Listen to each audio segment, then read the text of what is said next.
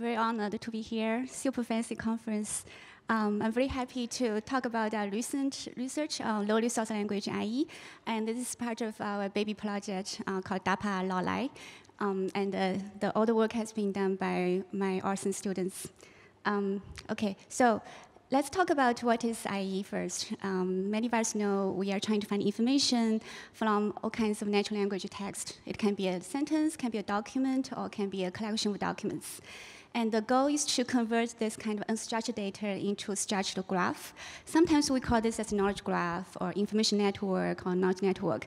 But uh, in this graph, each node can be an entity, and uh, the edge could be uh, relations and events involving these entities. So here's an example. You can see, uh, given this sentence, we want to find there's a located relation, and there's a movement event, and uh, we know the destination, and we know the person who is being moved. So um, it has been a, a, very active research area. Uh, it's maybe the most popular area right now at ACL. Um, we have been working on this for more than three decades. Uh, if we look at the node extraction, we can look at the uh, sentence and try to label each token one by one. Say uh, it's beginning of a person, uh, inside the location, or outside the location. So basically, you need to convert this as a sequence labeling problem. Uh, and the most popular DNN model try to look at the uh, direction, bidirectional contact and look at the interdependency of labels. So um, this task has been very successful for English. Um, and if we look at relation event, usually the problem is more complicated because we need to look at a very complex sentence and very long, wide context. So usually people do is, uh, what people do is try to convert a sentence into a dependence graph or use uh, semantic parsing, convert this into a graph structure, and then we can shorten the distance between the nodes. For example, for this relation uh, between the person and, and, and, the facility, we can look at the dependence paths uh, in, in the sentence, there are four tokens between them, but in the tree, you can only see two edges. So the content become much shorter. And then what you can do is to encode this graph and then uh, label some training data and then convert the graph into the structure, into the relation structure. So we have been doing this for uh, many years. For English, it has been quite successful. We are generally happy. Usually what we do is we ask the consumer to tell us what labels to uh, assign to node and edge, and uh, then we hire annotators. Um, usually we need uh, 500 documents for training, and then we sit down uh, to design features, maybe incorporate some embedding, fancy embedding and into the model. So it has been okay. But the problem is that once we have model for English, we have no way to uh, apply this to other languages. And uh, usually the, these models are very fragile. When you train a model from a domain, it cannot be applied to other, other domains. Um, so uh, what we would like to do is to extend this kind of framework to all the languages, because we have been too arrogant for many decades, considering English as the center of the universe. But English really doesn't deserve to be the center of the universe. So if you look at the number of living languages, we have 3,000 languages, and uh, more than 300 of them have digital news data. So the idea here is whether we can find certain concrete information from low resource languages. For example, if I want to know what uh, Aung San Suu Kyi was doing last week, maybe the information will be from Burmese news, not from English news. So we would like to break this kind of language barrier using um, English resource, English knowledge, and then we can apply that to other languages. Um, so it's uh, not a, a, trivial problem because the annotations for relation events are usually much more expensive and very complicated than uh, entity annotation.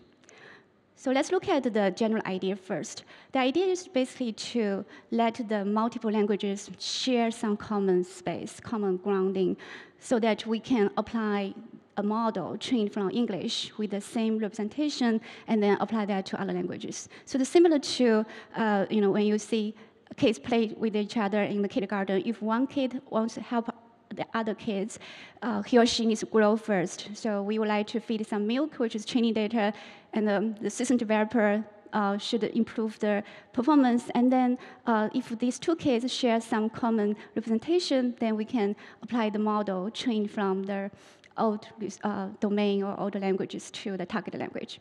So that's the general idea, and um, it has been very successful for node transfer, uh, what we call entity uh, transfer.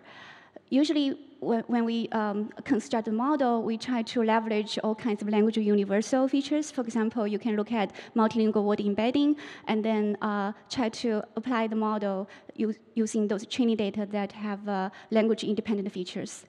Um, so for entity transfer, we can also uh, try other um, language universal frameworks, for example, if you can ask a non-speaker to look at the translations and uh, the, uh, some language-specific features, you have a reasonable guess about what is being a name or what is, what, what is a type of entity. Um, so uh, there so a lot of work recently um, uh, doing this. So this is an example showing how can we train a model from English and apply that to Russian. So in the bottom, you can see there's an English sentence, training sentence, and a Russian test sentence. So if we use cross-lingual word embedding, we can project that into one space. And then you can apply a BiLSTM to train the model from English and apply to uh, Russian. So this has been very successful. However, this kind of a framework needs a lot, lot of uh, bilingual dictionaries and parallel data.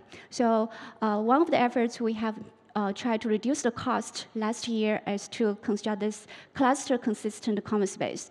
So the multilingual word embedding assumes that two words like orange and apple, if they are close to each other in English, they should be also close to each other in Chinese or Arabic or African languages, because uh, the distribution is consistent. So it, we try to extend that hypothesis to cluster consistent. So that means if you have professor cluster and a student cluster, if they are close to each other in English, you can reasonably assume they are also close to each other in other languages. So the, now the key issue is how can we construct clusters? We designed six different ways to do this.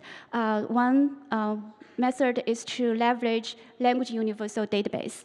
So many of us who have got uh, linguistics training might know that linguists have spent the past decades on constructing this kind of database. We just don't know where they are and how to use them or how to read them. So we try to clean them up. For example, we use the WALS and CCLS in those databases, they provide us word classes. For example, they will tell us how to say weekdays in Russian, and they will also tell us what is the equivalent suffix to convert qualified to quality.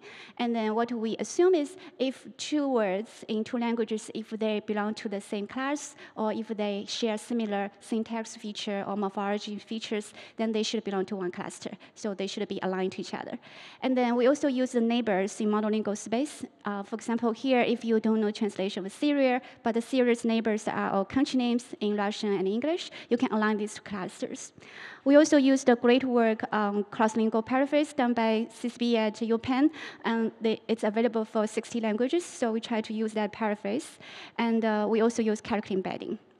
Um, the problem here is uh, none of the previous multilingual word embedding really cares about knowledge or entities. For example, if you want to represent the uh, name John Smith, if you just do average uh, or um, some of the um, embedding of John Smith, basically you assume that all the people who have last name Smith share similar semantic representation, which is obviously wrong.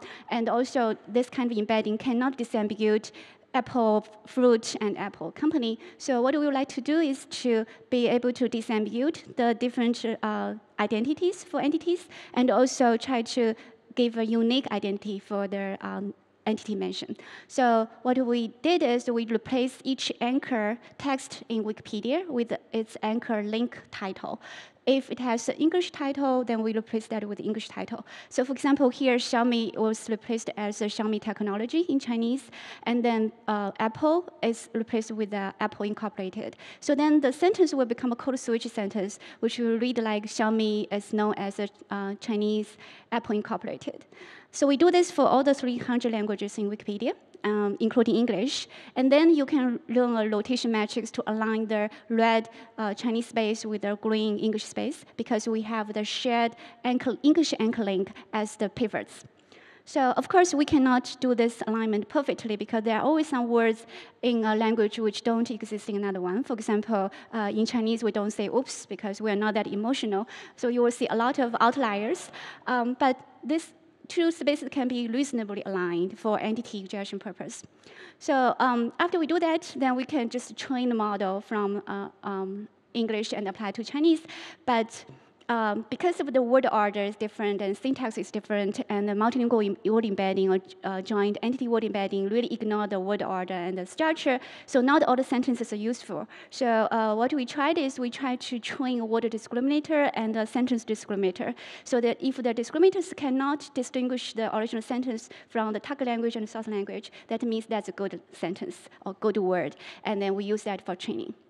So um, results are pretty good. Uh, if we don't have any training data for the target language, we usually can get above 50% F score. And if you do have a few sentences, like you know 100 sentences for the target language, you can merge that with the English sentences, and we can get above 60% F score. And the cool thing is the real useful information is being transferred from the source to target. And the, the source language doesn't have to be related to the target in terms of language family, because as long as they share similar topics or entities, they will uh, share a lot of pivots in the common space. So we tried to experiment uh, for using um, Russian to help Chechen. So Chechen and Russian are two very different languages, and Chechen is an extremely low resource language because it's only spoken by two million people. That's like the uh, small town in China. But they have very few resources from local news. So what we did is we tried to apply the uh, common space between Russian and Chechen, and then train a model from Russian test on Chechen. So you can see we can improve the performance from about 46 to 69. And we also looked into the results to see what is being transferred. So in the table, you can see some examples. For example, in the, third one, uh, you can see a university called CSU. It's a very popular university in Russia, and it only appears once in Chechen data but it appears 183 times in Russian. So that indicates that if you can leverage the topic-related data in a uh, higher resource language, then you can use that for the low resource language. Uh, so we're very happy about the entity injection results, and also the cool thing is you can now apply this to cross-lingual entity-linking and do that in an unsupervised fashion, because all the mentions in any language are now aligned with the English entity in the common space, so that you can just co uh, compute cosine similarity, just get the entity candidate. So this is a very different paradigm from what we have been doing about eight years ago uh, when uh, TAC KBP just launched. At that time, we needed 3,000 mentions for training. You learn learning to rank framework and design features and do the ranking. So we compared the results with the state-of-the-art model uh, at that time. Uh, you can see for many languages, we get even higher performance than supervised model. Uh, and uh, this project has been used for many real applications. So last year um, and uh, the previous two years, DARPA have been using our project for um, um, real-time monitoring of disaster. So we did experiments in uh, Macedonia and uh, West Africa, and uh, um, this year we are doing that in Bulgaria. So we have shared the system publicly uh, for 287 languages, and uh, uh, it's available as an open source, Docker container, and API. Um, however, that's not the end of the story because if you look at the results, uh, we did a pretty good job at localization. So we can find the events, relations, and the places, and uh, link them to English geo names so you can uh, monitor, for example, which place need water, which place need evacuation. But the topics or events or relations are always wrong, uh, often very incorrect. So that inspired us, maybe we should do something uh, more uh, in order to do this task. So we would like to do relation and event argument transfer so that you can transfer the whole graph. The hypothesis comes from a linguistic paper called um, uh, Relational facts are usually typically expressed by identical patterns, even though they use very different languages to express the pattern. Um, the patterns are usually consistent. So if we look at the dependency results, usually the paths between two nodes are usually identical or similar across languages. So this inspired us, maybe we should use all the available language universal features to represent the dependency graph. So the edges are sharing the same labels. And if we look at the nodes, we usually use the same ontology for entity type. So that means the entity types are also language universal. And as I said, the multilingual word embedding and entity embedding can also be considered as language universal. And usually we use the same label for speech tag. So if you have a um, language universal so plus speech taggers, you can also use that to represent the nodes. So combining this kind of symbolic and distributional representation, you basically can parse the two sentences. So the left side is the English training sentence, the right side is the Russian test sentence. So if we do universal dependence parsing, they are both converted into dependence graph, and then we can uh, represent each node using the universal part speech tags, entity types, and then the uh, joint entity and word embedding. And the edge will be sharing similar labels. For example, here between the person and organization, we see a path going from non-subject um, passive to object, and uh, they are identical, even though the whole structure, the graph, are quite different. So, uh, and then we can use graph neural network like GCN to uh, encode the whole graph because we can now borrow the representation from the neighbors to represent each node. So what we did is we consider each sentence as n times n matrix, and each uh, token is being initialized using these lang language universal features. So we combine four things, the um, multilingual word embedding and path speech tag and the dependence, dependence relation and entity type.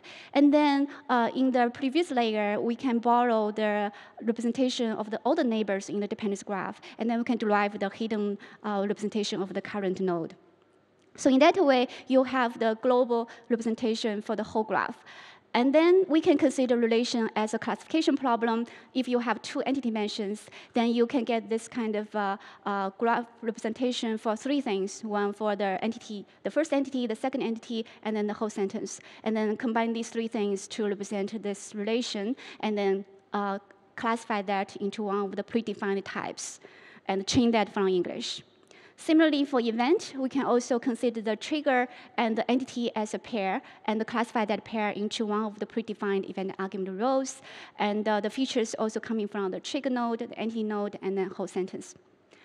So by doing this, uh, then you can now look at the left side, the English training data, it's already uh, labeled as a movement, event, and the located relation. And the right side, the Russian sentence doesn't have any label, but they are sharing one GCN common representation. And then now you can train a model from English, apply that to Russian.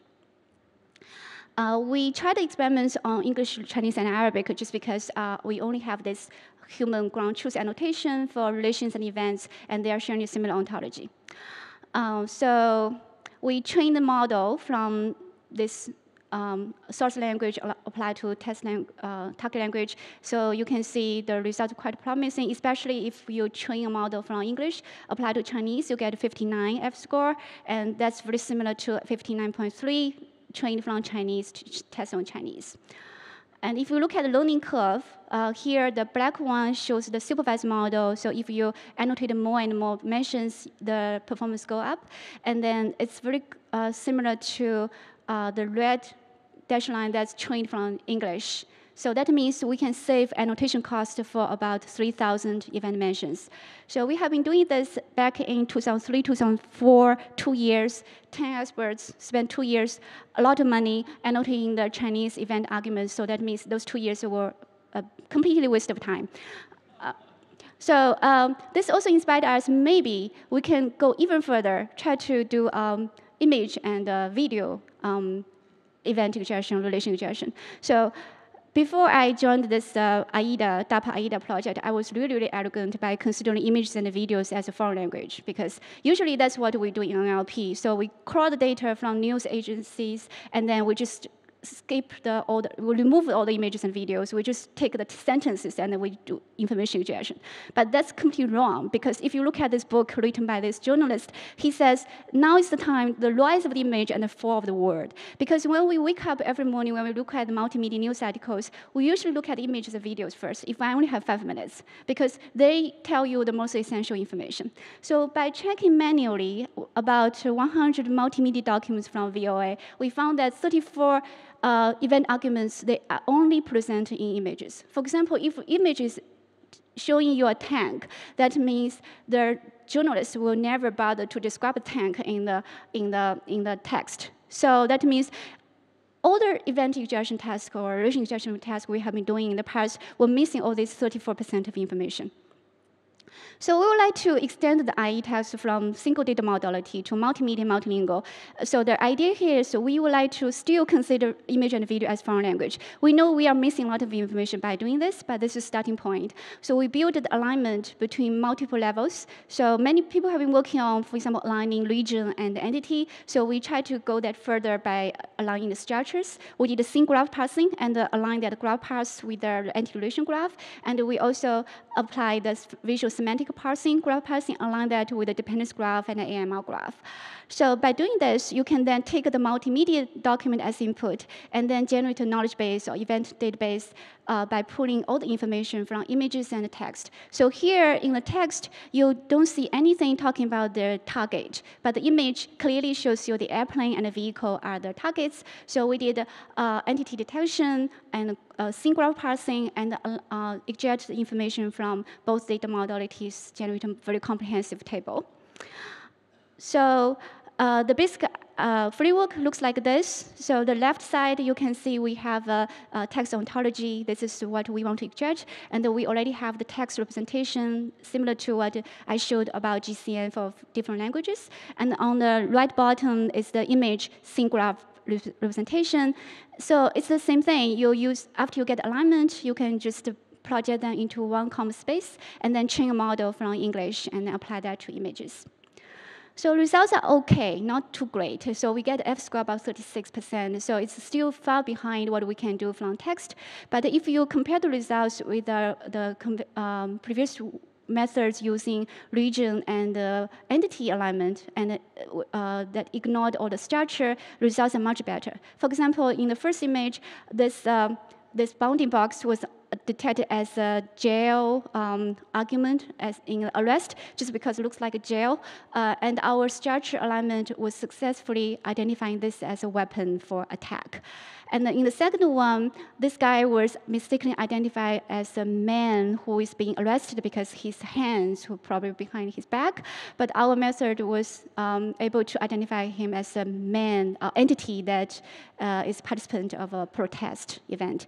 And uh, in the third image, the baseline method um, identify that bounding box, that man, as agent of arrest because the real agent, he only shows his back in the image, but using our uh, multimedia common space, we were able to identify the, um, that man as a person who is being arrested, not the agent. Okay, so um, so far, we have been making a lot of really promising progress. For example, uh, four years ago, we can only deal with about one or uh, one to between one and three high resource languages. We now we can deal with 300 for uh, all these tasks. And uh, uh, for entity types, because we are using the joint entity and word embedding, we can extend the types from the coarse-grained one to 16,000 types defined in Yago.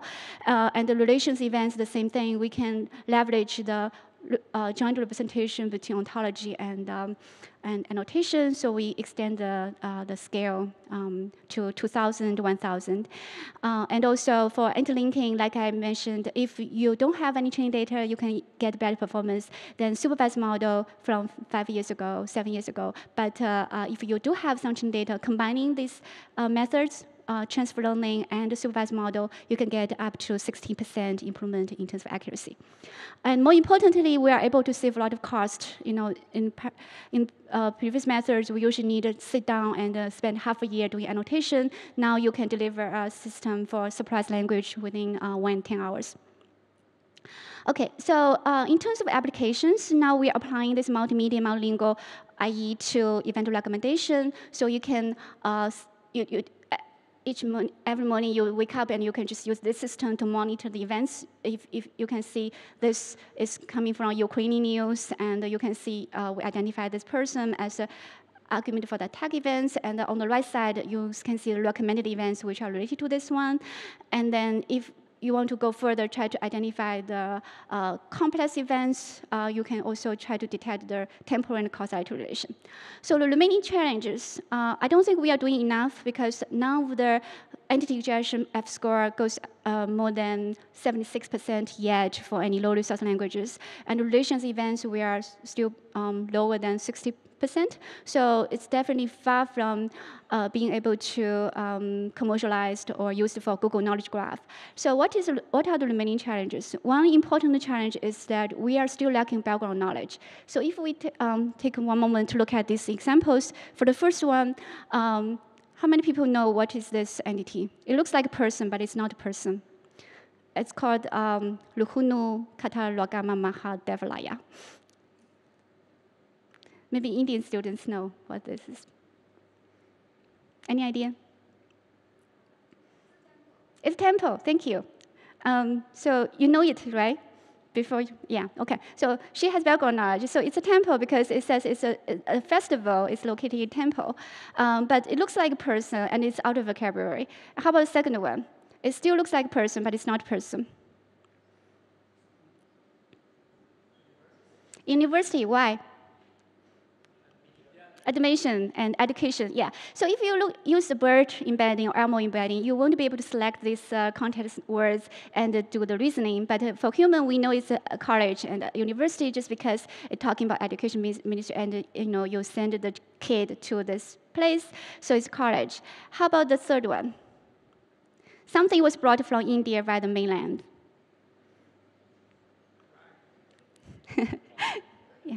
yeah bad kids know the answer. So it's not a person. Uh, and, and the final one, maybe many American students know, it's White House because it's uh, the old address, the former address of White House. Anyway, so the idea here is that if we stick to the current framework, just use the distributional semantics and without any reasoning, without going in outside of the sentence, looking at the global knowledge, we are hopeless. We are still missing all these uh, important entities. And then in terms of events, what I showed in the, uh, in the recommendation system, we still don't know the uh, relations uh, between complex events. So this is a new DARPA project called KAIROS, and here we want to induce the schema for complex events. We basically want to find out the temporal causality and the sub-event relations between these events for any languages and any data modality. And we also want to induce patterns. For example, a haircut usually depends, uh, depends on woman or man, takes hours or days. And um, uh, speech, public speech usually take minutes to hours. So this kind of uh, useful patterns. And then you can just apply the pattern to any new domain, new language uh, without any education cost. So I don't think I have time for demo. I don't have a way to interact demo anyway, but if you go to my software page, you can play with those. I think that's all. Thank you.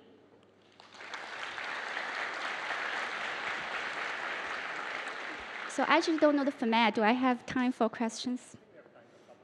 Okay.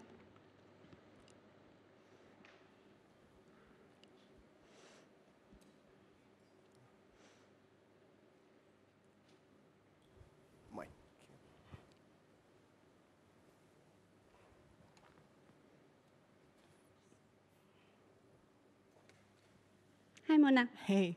Um, great work and great presentation. I have a couple of questions actually. Um, did you, um, in your work, so do you have any assumptions about the genre of the data that you're learning from? Um, we don't, but uh, that's a great question. Uh, we had ACL paper uh, try to deal with that problem in English. Mm -hmm. So we found that if we uh, train model from news applied to, say, broadcast news, although the genres are quite similar, but the performance dropped significantly. It's like 10% or 20%, so it's a really bad problem. Mm -hmm. So I have to say, we were able to break the language barrier in this way, but we are still facing very serious problem about genre adaptation. Um, so the, the, the, the key issue is because when people try to use distributional representation, they always assume that you have enough uh, content to represent each word. For example, if the word appears less than five times, you just ignore um, the, the pre-training embedding. Mm -hmm. So it's very fragile. So we try to do some work on let the model um, to open the black box and try to let the model dynamically model the content, like when you should focus on content, when you should focus on character embedding. And I think also it's important to incorporate more symbolic features. Yeah, so it's unsolved problem. In the in the test data, we usually just get all kinds of genre like news or tweets, right. and and we didn't get time chance to to look into it, and that should be next step. Mm -hmm. Yeah, thank you. Okay. Uh, quick Question, uh, I see you have using um, uh, semantic parsing, some of these structured information in your model. How much does the structured information, structured prior, uh, help? Oh, yeah, yeah. I didn't show the, I didn't have chance to show the ablation test. Yes, so it uh, helped a lot for uh, Arabic, just because uh, uh, the, the, uh, the flat representation for Arabic relation events was not enough. So it's about 8% uh, absolute improvement F score. Chinese, only a little bit because I think the Chinese entity annotation was better than Arabic. So it depends on language, but the, the uh, improvement was very significant. And I already showed the results on uh, cross-media transfer. So you can see the baseline did not use any structural representation. The results were only like 2% F-score, and we got 36 by using the structures. Um, how much actually can you, you know, how, I suppose you can get more data, so mm -hmm. to actually, you know, the, in terms of sample efficiency, how, how much more data can you get to that structured, you know, the... Yeah, so I think the bottleneck for cross-media case is not on natural language, it's on the vision. So they have been doing a lot of work on semantic labeling, but the scenarios are always very peaceful, toy, example like, you know, play soccer or cooking. No one cares about the real news. So the supervision we can get from vision side is really limited. So that's what we are doing now. We try to develop some new benchmark and new frameworks for identifying uh, complex events and situation recognition information. And hopefully that can be aligned with the text um, better. Right now, the transfer is mostly from natural language to vision, not the other way around. I would say the multilingual case, it really depends on universal dependence parsing people, and I, we really appreciate, you know, they are extending the number of languages, but the, it, the performance varies across languages. So it depends on what, what we are targeting at. Thanks a lot. Thank you. Sorry, I think we are running out of okay. time. Thank you very much.